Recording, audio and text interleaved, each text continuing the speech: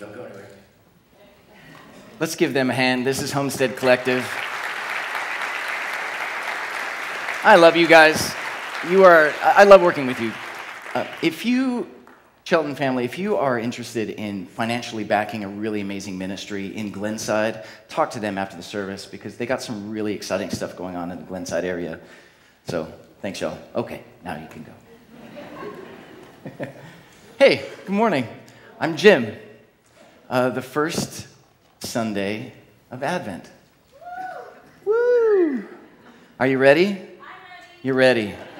Are you ready for Christmas? Yeah, yeah. In the first service, all the kids were like, Yay! And the parents were like, Oh. The first Sunday of Advent needs a pop quiz. You ready for a pop quiz? All right. Here's the question Who is the most cynical, pessimistic, grumpy, bad attitude Christmas character of them all? Scrooge, Grinch. It's a toss up, really, it is. It's a toss up for me between Scrooge and Grinch, mostly because, well, Scrooge McDuck. Scrooge McDuck is my favorite of all the Scrooges. Um, but mostly because I was, I was just at Disney World, and Disney World really brings out the bah humbug in me. but it actually makes me a Grinch. Okay, yeah, so, so let's go with Grinch. Um, this is, this is what I look like standing in line for an 110 minutes, hemorrhaging money for a, for a ride that closes right before I get there. It really happened. Disney. No, actually, that was Universal. Um, they're the same. They're the same. All right, so next question Who is the most blindly optimistic, happy attitude, optimist Christmas, Christmas character of them all? Elf. Elf. Hands down, it's Elf.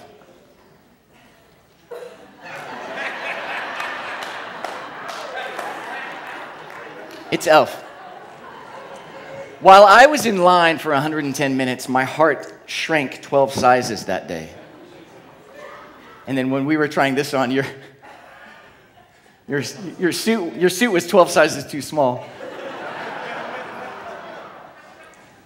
Elf, yes. So odds are you're somewhere between, and on the, on the pessimism optimism spectrum, you're somewhere between these two characters, right? You're somewhere between the Grinch, Grinchy, and the elf, elfy person.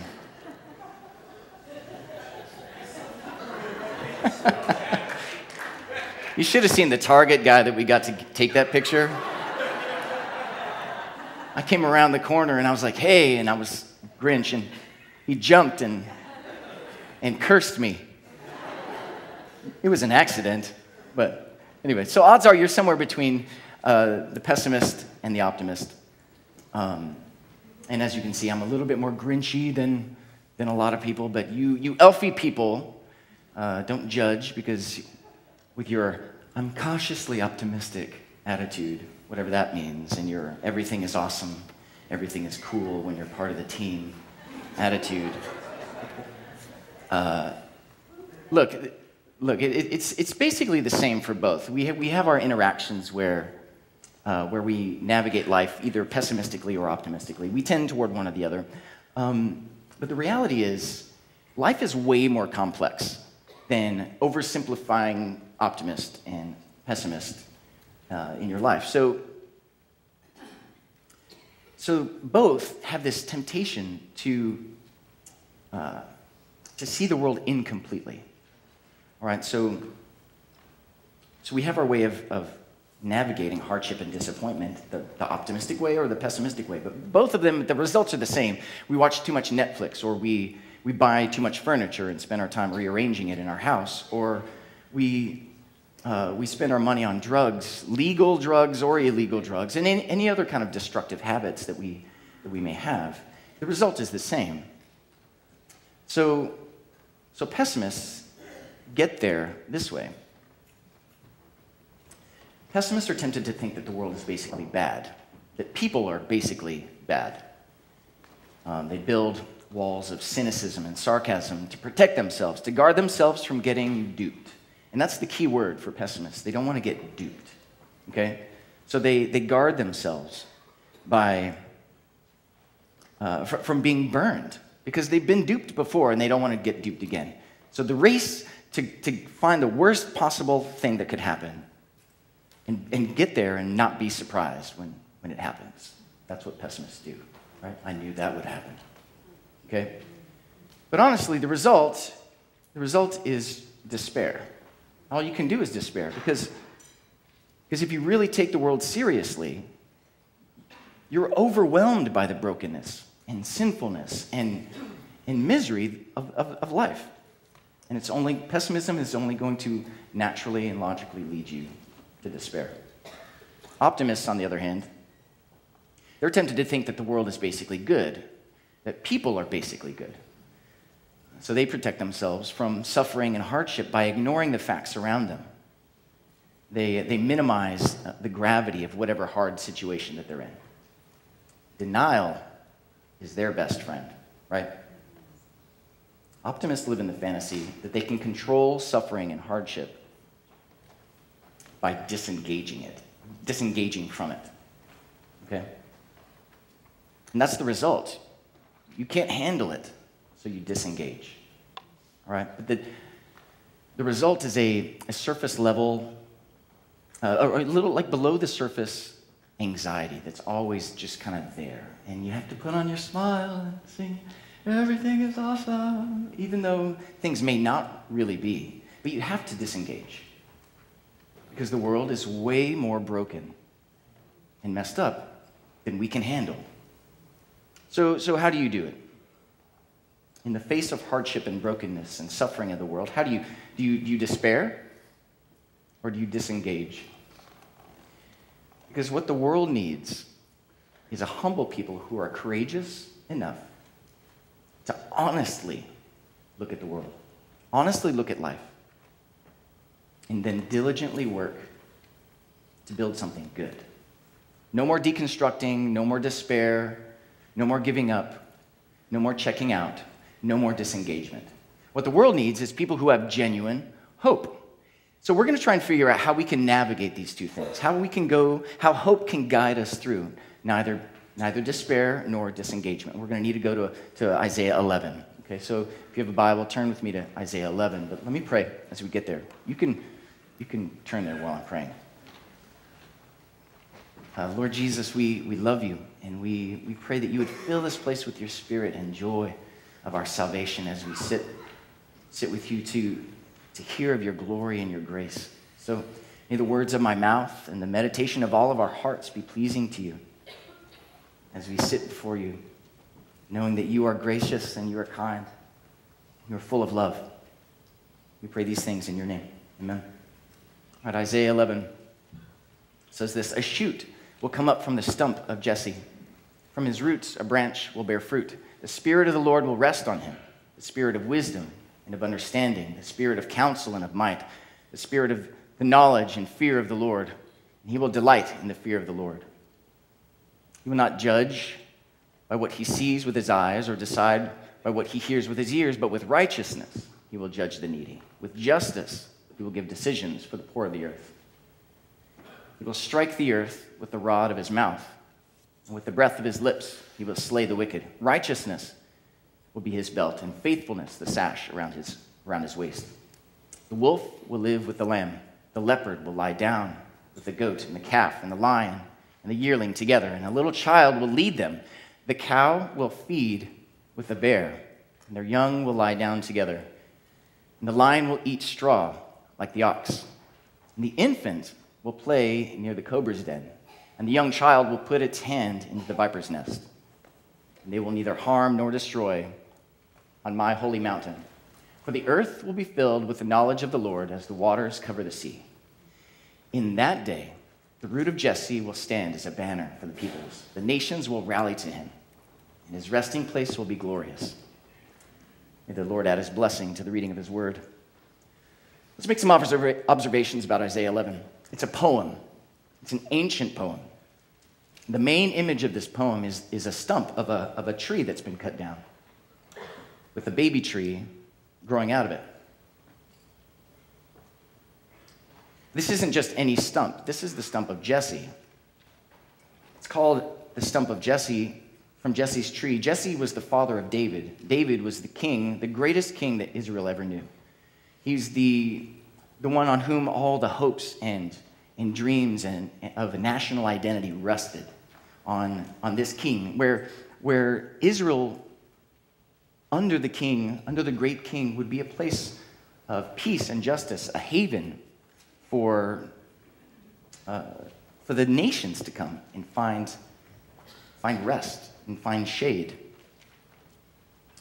But, but Israel rebelled against God and fell short of that job to be a haven for the nations, a haven of justice and mercy.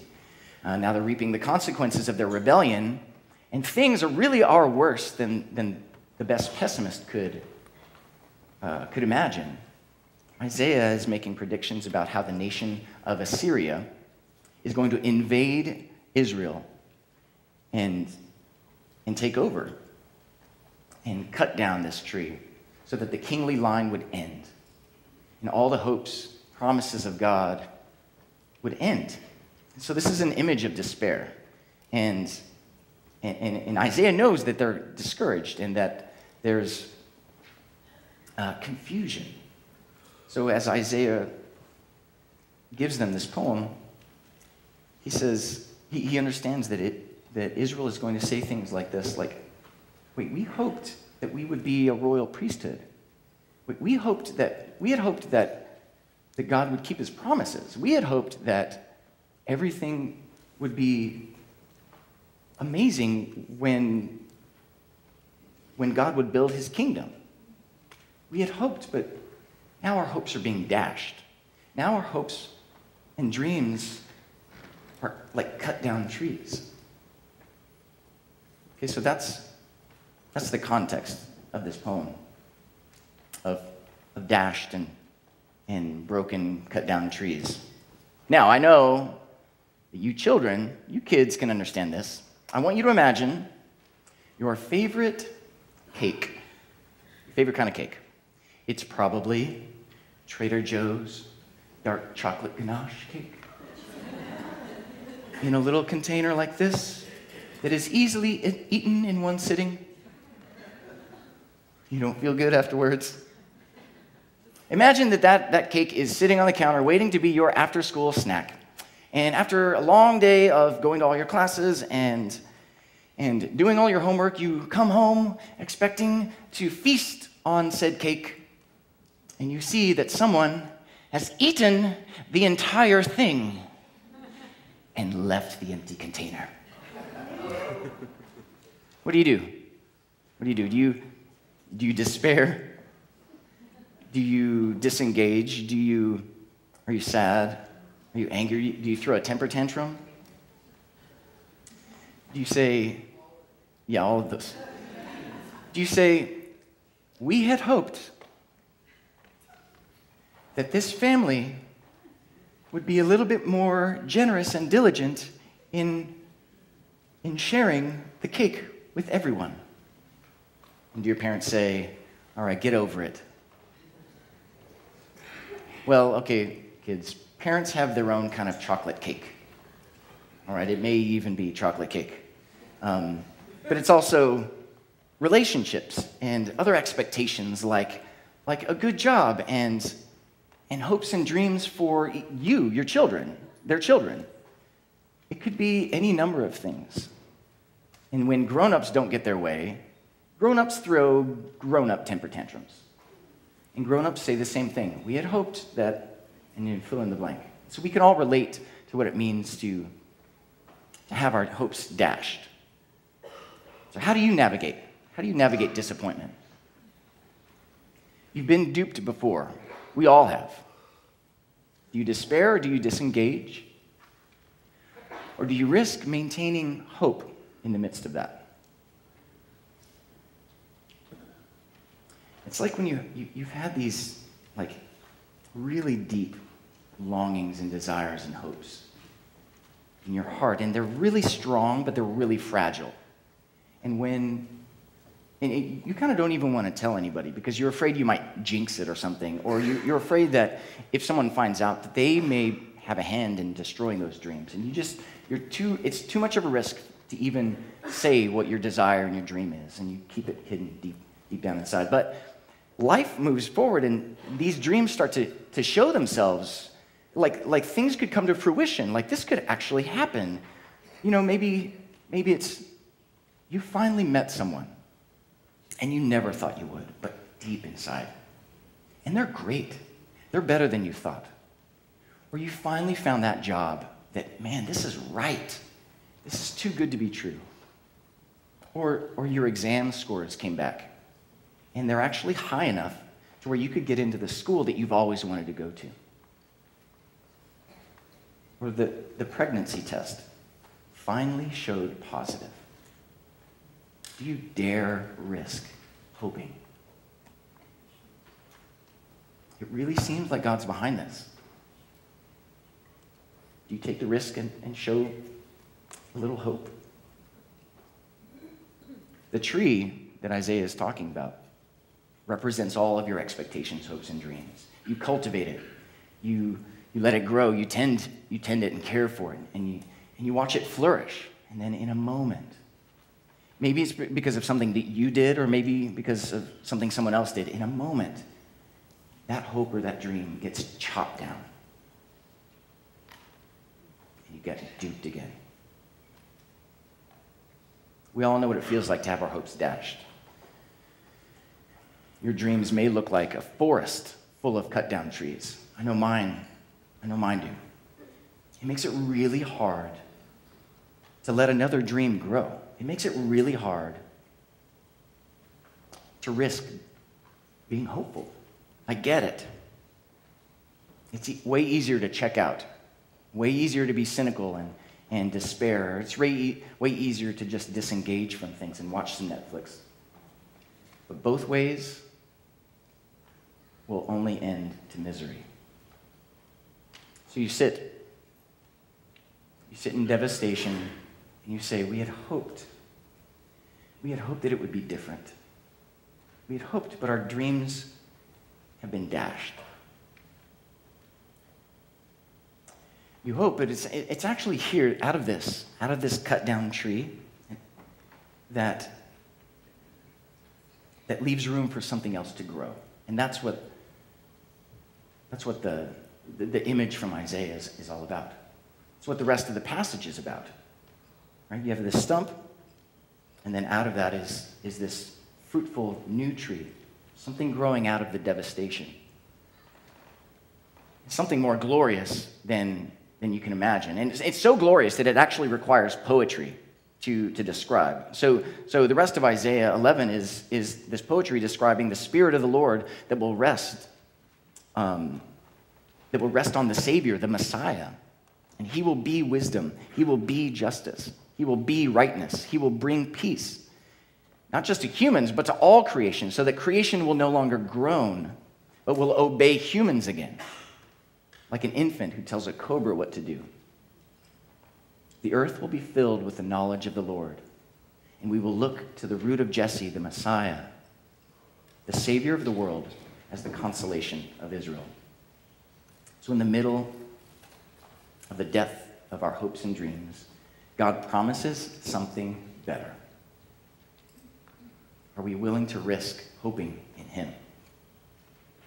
It's kind of like we say, Jesus, if, if when you come, you're going to make everything right again, right? No wonder this Isaiah 11 is a wonderful and famous uh, Christmas passage. From, from this point on, from Isaiah, from Isaiah's prediction on, it's, it's, a, it's as if Israel sat in front of that stump waiting with longing and expectation, looking at any second there could be a little, a little shoot that comes up. It could be the declaration that hope has finally come. And that's when, in Luke 2, when, when Jesus comes on the scene as, as we celebrate Christmas, we see this sense of longing and, and expectation and a buzzing energy that something amazing is about to happen. You see it embodied in the, in the passage that we read earlier today from Luke 2 about Simeon and Anna. Simeon and Anna are waiting with hope, neither overwhelmed with the despair of cynicism or disengaged by naive optimism. Anna was married for seven years, and then she was a widow until the day, until she was 84. Talk about cut down dreams. But God gave them a vision, a promise, and Simeon cultivated that. Simeon and Anna cultivated that dream, and they were faithful, and, and they waited with hope that God would fulfill the promise. And Simeon, Simeon got to hold the baby Jesus, the, the, the, the object of his hopes and dreams, got to literally hold his hopes. So, so that's why we, we light the Advent candle. We, we say we want to be like Simeon and Anna. And we want to declare that our hope is in Jesus. We want to be like them. But honestly, when I read beautiful passages like Luke 2, the cynic, the Grinch, kind of starts to rear its ugly head. And, and I go, Yeah, but Simeon, you never had your hopes dashed. You don't know. You don't know that my life is a forest of cut down trees. You don't know the disappointments and, and, sorrows that I've faced. Good for Simeon, good for you, man. You got to hold Jesus. It's risky to trust in God with our strong but fragile hopes. That's why we have to keep preaching the gospel to ourselves. The gospel, the story of the gospel is, is, is more deeply tragic than the best cynic can pessimistically deconstruct everything to absolute nihilistic despair. It's more deeply tragic than that. But it's also way more glorious than any optimist could fathom. But it's in that order it's death and then resurrection. The death of your hopes and dreams gives room, this is key. The death of your hopes and dreams gives room for the resurrection of something better. Our life is one long, continuous cycle of the death of dreams that are just too small and the resurrection of dreams that are better, all so that God can begin weaving in His desires for your life. Because ultimately, what you really want is fellowship with God. Ultimately, what you want, what you hope for, is God Himself. And only Christianity can say with an undaunted hope that this world is, is more broken and messed up than we can imagine. But God's grace is more victorious and beautiful than we could ever imagine. Because Jesus died in the absolute agony of despair in our place. There's no more cynical and despairing phrase than this My God, my God, why have you forsaken me? And Jesus himself, the second person of the Trinity, God, said that. But Jesus rose again. He rose from the dead. And that hope is, a, is real for us now because what resurrection means is that the story of the gospel is more glorious than, than we can imagine. Because resurrection is real now. It guarantees that whatever cut down dream you've experienced, there will be something better. There will. But the hope isn't just a future hope, the, the hope is a now hope. Okay? This is something that you get now, like right now. Not when we leave, but like right now. In John 14, Jesus says to his disciples in the upper room, He says, I will send to you a helper, an advocate. I will send to you the Holy Spirit the parakletos is the Greek word, the one who comes alongside. Parak, uh, parakaleo is the one who comes alongside. That's the same word that Luke 2 uses when Simeon says that he was waiting for the consolation. That's the parakaleo. He's waiting for the consolation of Israel. What are we talking about there? It's the Holy Spirit. What does that mean? It means that God is with us now. God comes alongside now. So those who are united to him get him now. God with us, God in us by his Holy Spirit. Do you believe that? Does your life look like you believe that? Do you see Jesus moving in your hopes and dreams? Do you see him? Do you see him? Do you experience him when your hopes are dashed? It's really hard to see Jesus with us. It's really hard to see Jesus when our hopes are dashed. That's why I love this story from Luke 24. Uh, the, two really discouraged men who are walking from Jerusalem to Emmaus on the very day, very afternoon of Jesus' resurrection. And the women who first bore witness to the resurrection of Jesus, they have told this guy, these guys, they've told them that Jesus is alive. They've, they've said the tomb is empty. We've seen him. But come on.